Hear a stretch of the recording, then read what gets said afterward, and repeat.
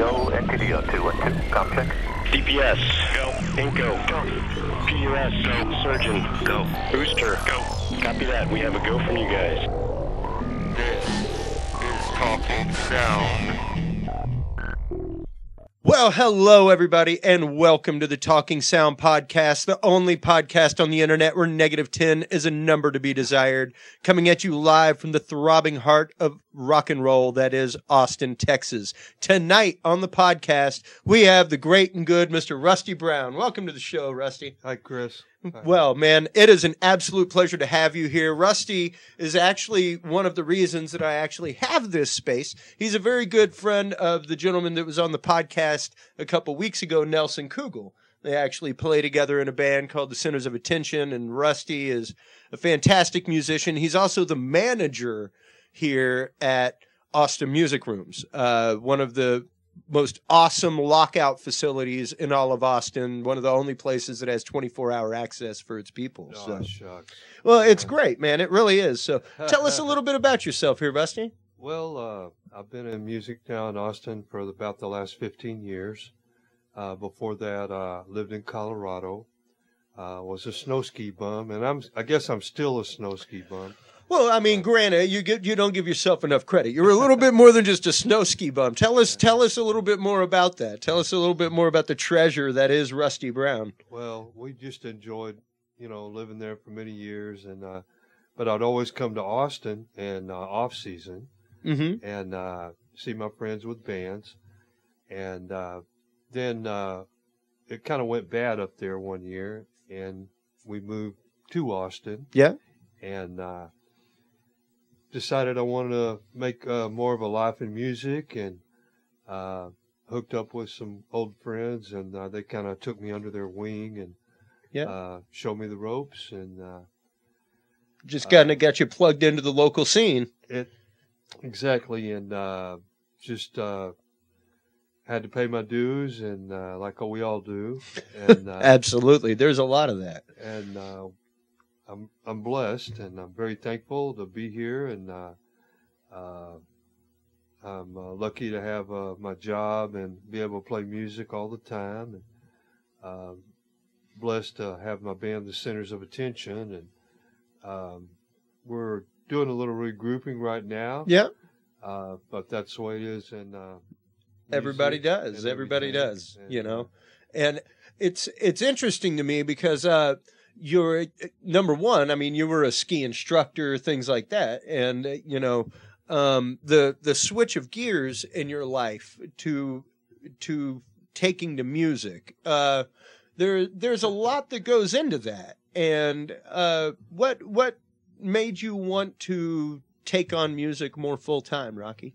Well, well, you know, it's uh the same thing.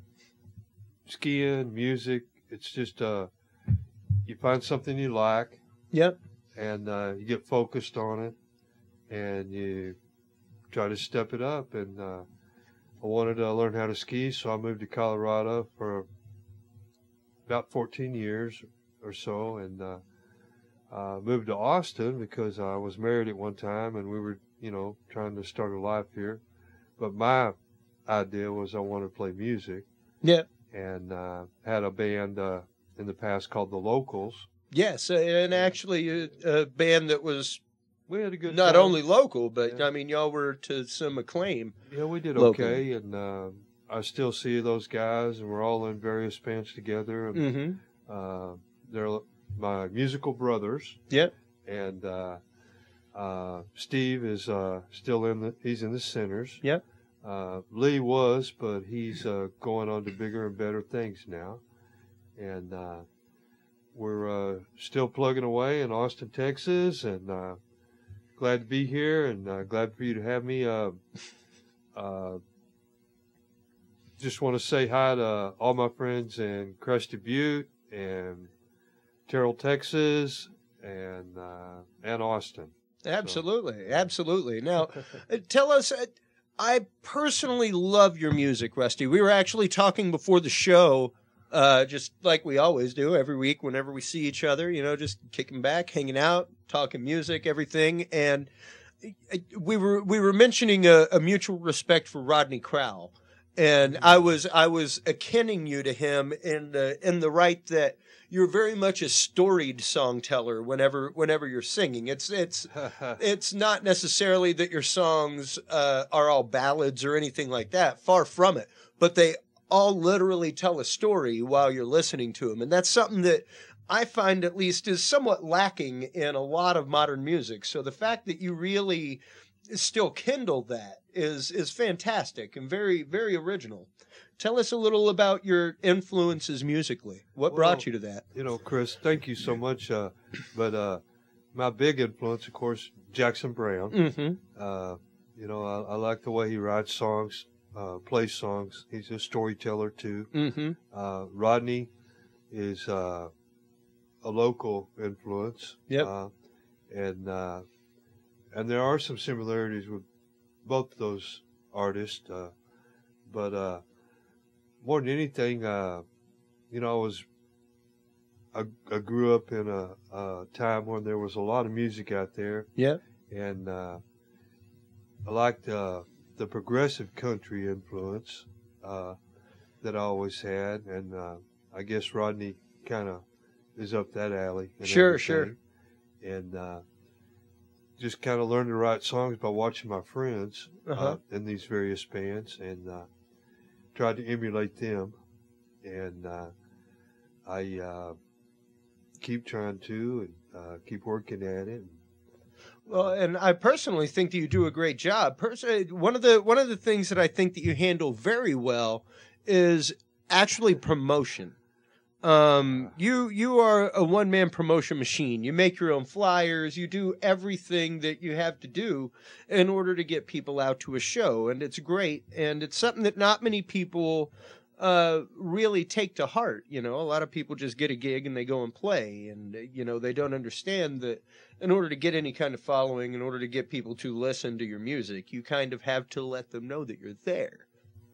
Well, it's a lot of fun, and uh, I want to try to convey that. I Mhm. want to try to bring people in, uh, get up close with them. Yeah. I want them to know it's a, uh, a time to socialize, uh, kick back, have a few cold ones, Sure. uh, and uh, a little more relaxed atmosphere. Uh, atmosphere, you know, when uh, the centers play. Uh, Yep.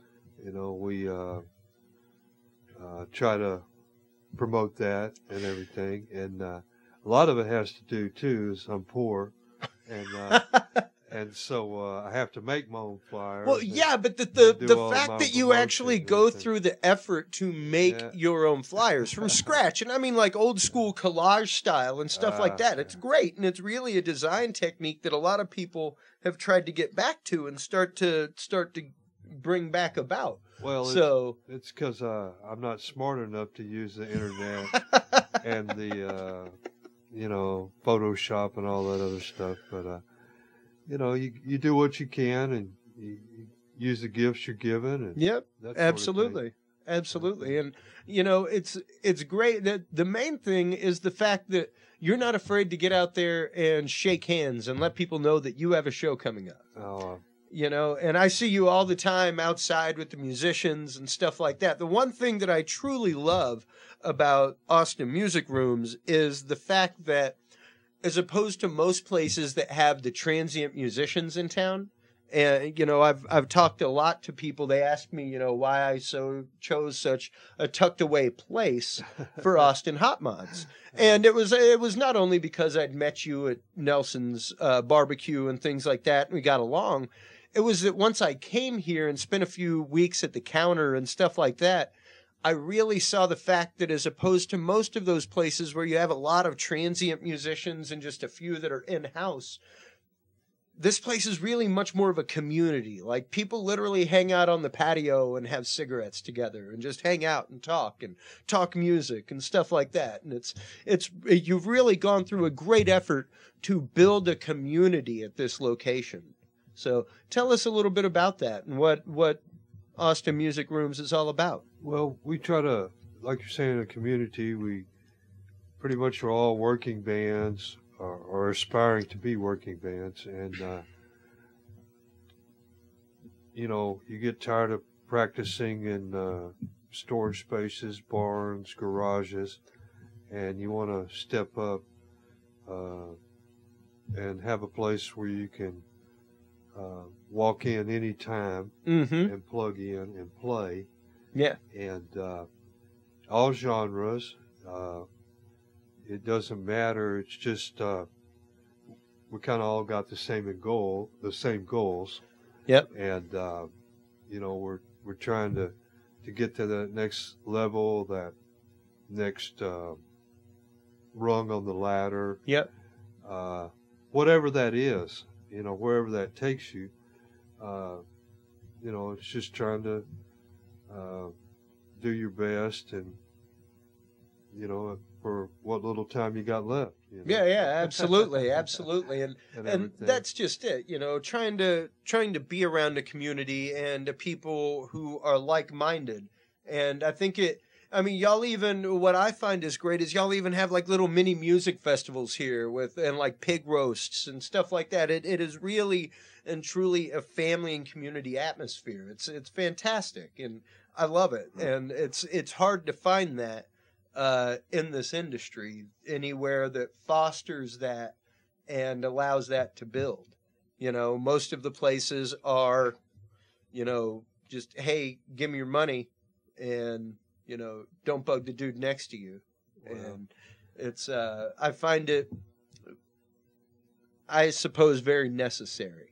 Uh, it's it's a different aspect and a different way to look at the music business and the fact that yeah you have to cooperate and collaborate with people and talk to people of all genres about it Well, the old Austin used to be that way. mm-hmm Uh, it was a, a lot more of a place where uh, musicians. It was a smaller a smaller group of musicians, and uh, you know they they worked together, they supported each other, and uh, and that's uh, you know we're in South Austin. Yep. And there's still a few of us left around here, and uh, you know there's a lot of guys you know that I look up to uh, that I've been able to you know touch base with over the years, and uh, we still got a few left here. And, uh, Yep. Well, and it's great. It's great. You know, I mean, we're we're not going to name drop or anything. There are No. some pretty there are some pretty heavy hitters that practice here. It's great. It's fantastic. yeah, it- And you know, uh, you you happen to bring one of your fantastic friends with you this evening. I'd I'd actually love for you to play us a song this evening. Uh, um, I don't know, maybe something like leaves or then the snow came or something like that something that is specifically rusty browne if you can treat us to a number. Okay, well let's see what I got here. all right.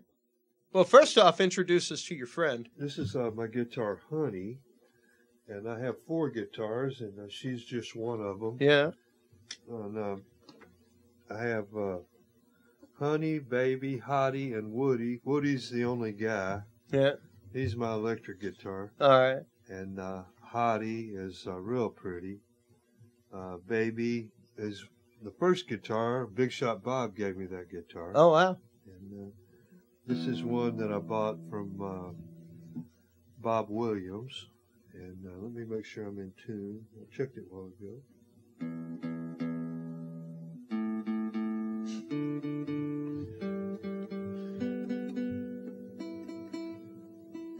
That sounds decent enough I think that'll work. for a classical Yeah. uh, what are you going to play for us here rusty Well, there's uh, I, I got a couple in mind, and uh, both are about towns okay that I used to live in, Chris. Uh, all right one is about Terrell, Texas, okay east of Dallas. It's a small town. Yep. Uh, like a lot of East Texas towns, uh, you know, the kids get together and have their own parties, and they cruise up and down the streets uh, looking for the parties. Yep. And uh, excuse me. Of course, they're avoiding the uh, police and uh, the parents and the teachers, and uh, it's just called uh, Saturday Night on Moore Avenue. all right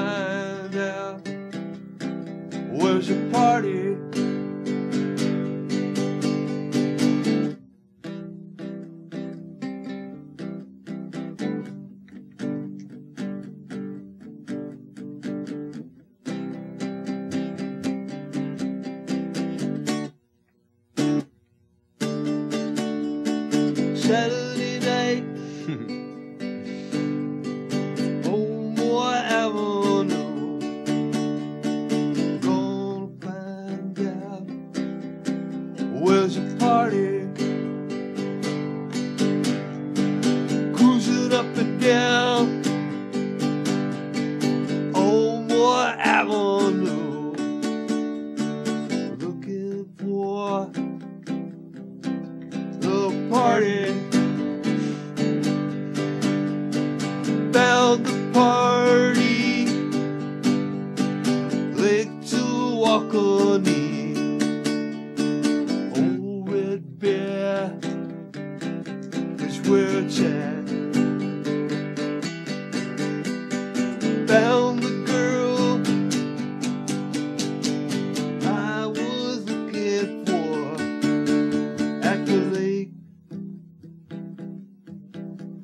at the party. Here we go.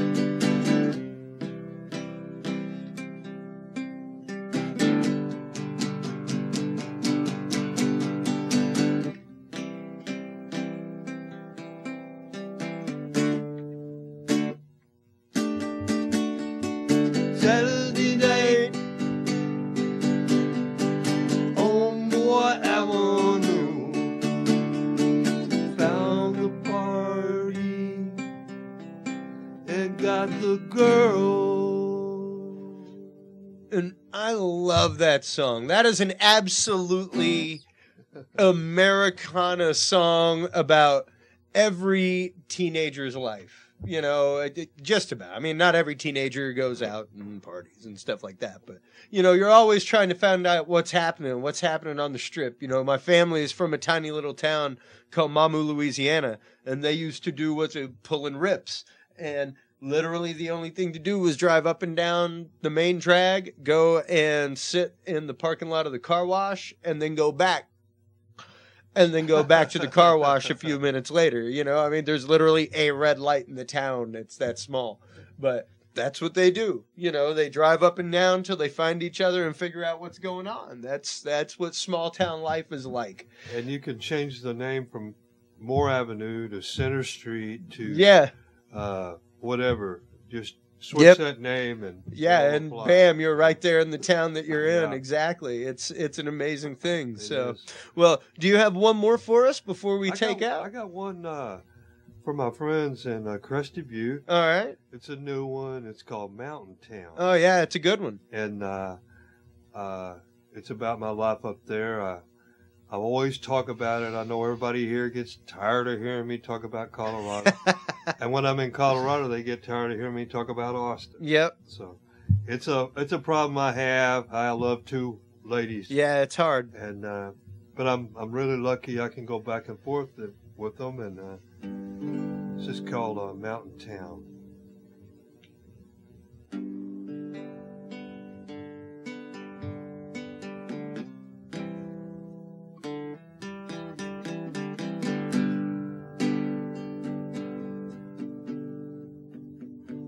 I pulled in, the streets were made of dirt.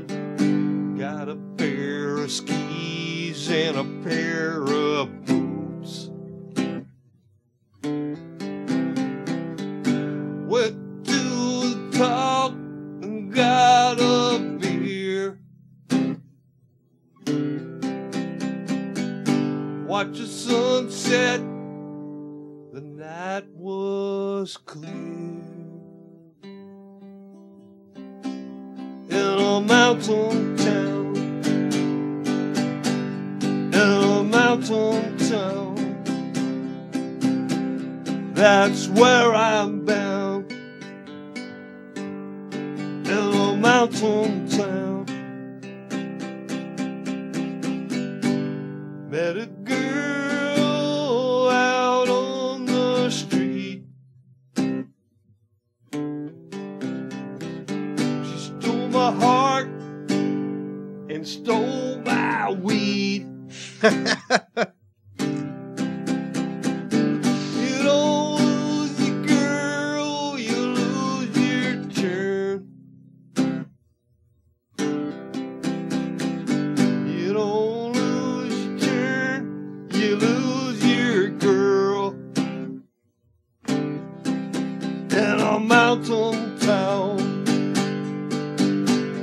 in a mountain town,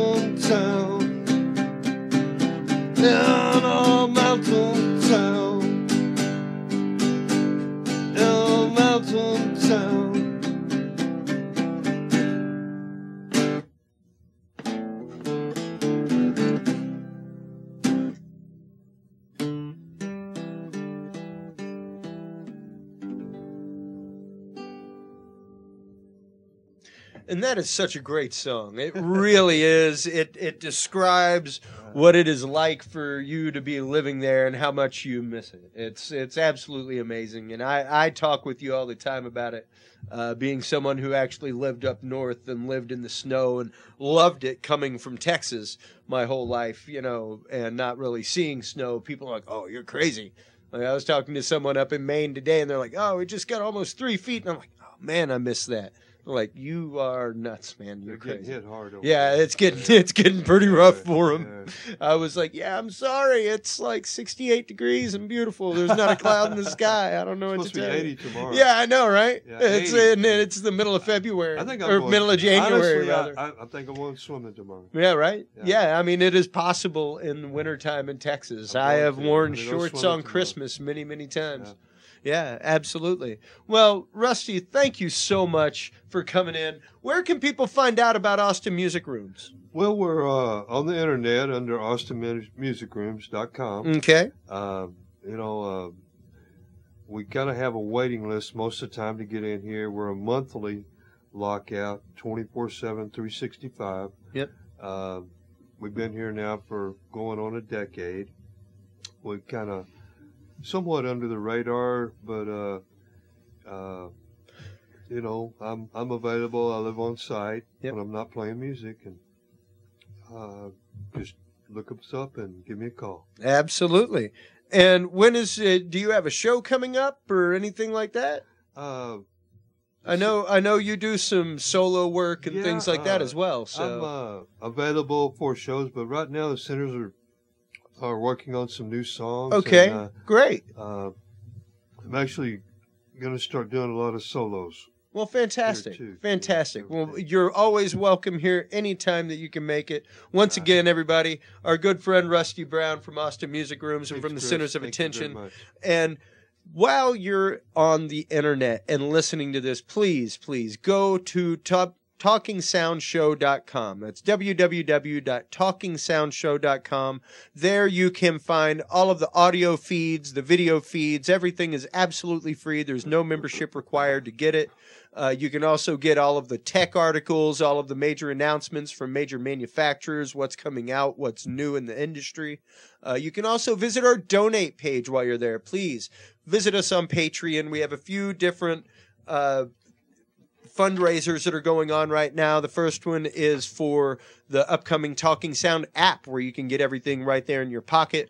Uh, we're also going to have the Talking Sound. Uh, we have the gear fundraiser so that we can get new tech and everything else for the show, uh, new cameras, all kinds of stuff to maintain uh, the show and the the server and everything else. So please visit us online. Also check us out on SoundCloud. That is www.soundcloud.com forward slash talking sound. Uh, once again, I am Chris Jordan, your host for the Talking Sound podcast. Until next time, everybody, please keep reaching for 11. We'll talk to you soon. Take care. Have a great day.